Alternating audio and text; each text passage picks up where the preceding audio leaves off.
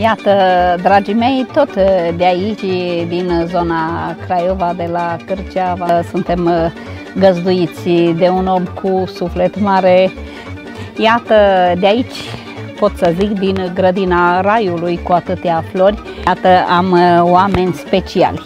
Îmi place să spun special pentru că un mare interpret, Ionel de la Cetate, care încântă pe toată lumea din zonă, este invitat la foarte multe nunți, la foarte multe evenimente și de ce nu vreau să spun că are și foarte mulți elevi care îndrăgesc uh, saxofonul.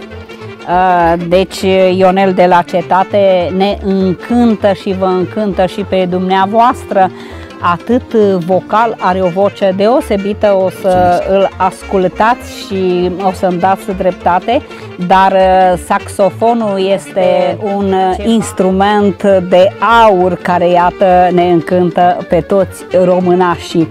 Uh, dragii mei, uh, oamenii trebuie răsplătiți pentru că sunt valori și trebuie să ne menținem așa cum suntem, să păstrăm tot ce avem frumos în această Românie frumoasă. Noi suntem un popor binecuvântat de Dumnezeu, cu oameni care ne sunt uh, dragi și care fac cinste acestei țări. Domnul Ionel, spuneți-mi dumneavoastră mai exact uh, de unde veniți? Din localitatea Cetate Calafat. Întâi susțin să vă mulțumesc pentru invitație. Cu drag. Pentru invitația noastră și colegilor noastre cu care colaborați și faceți aceste emisiuni frumoase. Ce vă pot spune? De unde dragostea pentru elevi, a zis. Da. Întrebarea noastră. Bun. Eu, la vârsta de 6 ani, 7 ani, să zic așa, eu am fost nevoit să plec acasă, de acasă din familie. Așa. Ne povestiți o poveste A. tristă, să vede că... Da, bineînțeles. Și am crescut, de fapt, la altcineva străin. Nu mai dau așa nume, prea mare. Bine, foarte pătimit din punct de vedere. După aceea a fost nevoit să încep și eu la un instrument. Am început la fluier, prima Așa. Fluier făcut de mine, din ce se putea atunci, din testolit, din ăsta, din și ușor, ușor, așa, am început să cânt cu acel instrument. Plecând în armată, din armată, am văzut și eu că se poate cânta cu saxofon. Asta mă zic, mă să-mi iau și unul. Și uite așa singurel am început să învăț cu saxofonul, să plec pe la evenimente, picolo, picolo și dacă am fost pătimit, am zis, mă, hai să ajut și pe altcineva.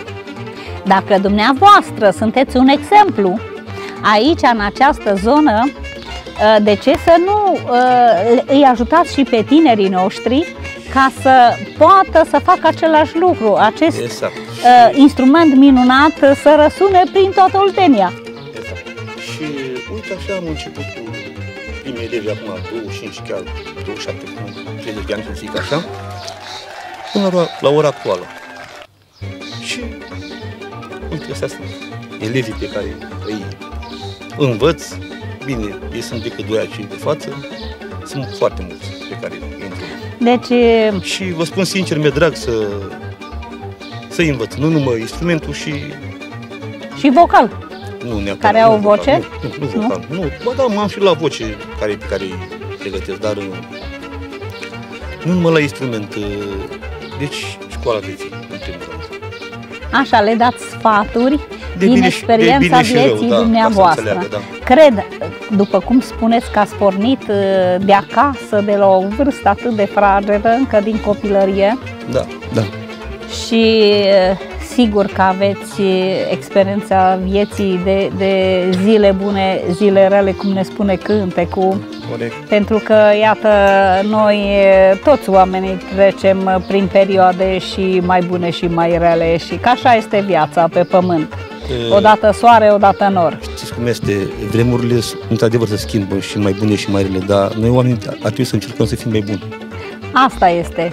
De, de acest lucru trebuie să ținem cont cu toții. Uh, să fim buni, să fim iubitori unul cu celălalt, și... să ne prețuim unul pe celălalt pentru că nu știm niciodată cât avem de trăit pe acest pământ și întotdeauna să ne rămână exemplele noastre de fapte bune aici în sufletul omului care Corect. este lângă noi.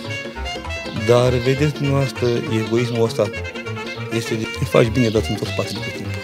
Sunteți, Așa de pot să spun așa, sunteți înconjurat de dușmani, pentru că asta se întâmplă din păcate, dragii mei. Dumnezeu ne-a dat lecții de viață, chiar acum cu această pandemie. Putem să fim mai buni. Nu e ușor de a îndruma un copil la vârsta de 8 ani, de simplu cum a fost el la 8 ani, și el la fel la 8 ani, să iei un copil la 8 ani și să pui, să-i pui acel instrument în mână și să-i explici. Cred. Nu e ușor. Cred că nu, nu este ușor. ușor. Vă dați seama, trebuie să vă... În primul și în primul rând trebuie să ai nervi tari. Vreau să vă spun că dacă faceți acest sacrificiu, sunteți trimis pentru asta. Pentru că acești băieți nu aveau, dacă dumneavoastră nu existați, nu aveau de la cine să învețe. Posibil că da, da. Cu siguranță așa este. Na, ce să vă spun, poate găsați și în altă parte, dar e bine să facem bine. Da. Spuneți-mi, domnul Ionel, dacă aveți familie. Da, bineînțeles. Am uh, doi băieți și o fetiță. Băieții cântă și amândoi. Fetița nu, nu, de fapt nu am lăsat-o să se apuce de Deci băieții cum da, urmat da, pe dumneavoastră. Da, da. Și vă pot spune că sunt mândru de familia pe care o am la actuală. Foarte bine.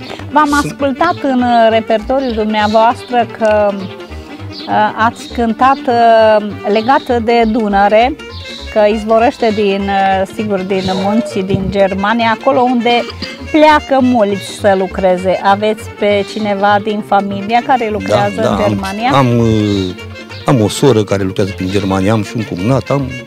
A, așa, da, da. Că vieții românii s-au răspândit peste tot ca să poată să trăiască. Seama să facă, să aibă un trai și mai să bun. vă mai spun, nu neapărat că dacă am pe cineva, că știți cum este, m-am gândit că așa e, așa am zis eu să fac un, să scot un cântec, adică de fapt. Dumneavoastră l-ați Pentru compus? Că, uh, de fapt e compus de domnul Nelu Ciulin, acest, acest cântec. Dar uh, m-am gândit, i-am spus unui cam ce vreau și uite că, na, Acum, poate unora le place, poate unora nu le place. Este frumos. Eu mi-am făcut datoria, dar frumos. în legătură de aceste cântece, eu nu sunt solist vocal, eu sunt saxofonist, dar am un elev care cântă la saxofon pe Savici, Savi, pe Bogdan și m-a rugat să-i fac pentru el niște cântece. Atât tot. Așa. Și aceste cântece sunt dedicate lui, pentru el le-am, le-am făcut. Așa, și atunci ați început odată da. cu dedicația pentru da, acest da, uh, da. elev al dumneavoastră, să cântați și dumneavoastră. Da. Foarte bine. Transmiteți, vă rog frumos, românilor care ne privesc și familiei dumneavoastră un cuvânt În primul și bun. în primul rând, uh, pot să spun uh, mulțumesc la întreaga mea familie că mă ascultă în primul rând. Că vă susține. Că mă susține și poate că îmi suportă unele greșeli. Nu eu Cu toți greșim. A, așa, le doresc sănătate. Și la toți românii de pretutindeni le doresc să, să fie mai realiști, adică să aibă suflet mai curat și să aibă grijă în ceea ce fac fiecare. Și eu aș mai completa uh, toți care vă uniți destinele, iată, aveți un om pe care vă puteți baza, că vă susține nunta și că totul va fi bine. Uh, vă doresc să aveți multe nunți, multe evenimente. Mulțumesc, mulțumesc pentru româna. că sunteți un om special. E vorba de, cânte, de cântecul de Dunăre. Dacă am înțeles. Că Așa, am, da, aveați un Dunăre, cântec da? de Dunăre. Bun, pe da, lângă Dunăre locuiesc. Cetatea este chiar lângă Dunăre. Satul meu, Cetatea, este un sat foarte cizelat. Nu spun numai eu, poate mulți care o cunosc, care cunosc acest, această localitate. Și noi avem o conducere foarte bună acum la noi în localitate și toate sunt ok. Și oameni, cum să vă spun, foarte primitori, Dunărea deci te descurci este altfel. frumoasă, este o comoară a României. Atât am avut de spus. Acum, na, ce să mai spun? Eu uh, vă mulțumesc din suflet Să mulțumesc și vă pentru mai invitație. aștept și de altă cu mare dată, drag, cu mare drag. drag. și să vă țină Bunul Dumnezeu uh, sănătos, Vă să ne mulțumesc, puteți să ne- încânta și mai Mulțumesc. departe. Vă mulțumesc, să rămân. Uh, Eu uh, vă spun, uh, rămâneți cu noi ca să urmăriți acești oameni speciali. Și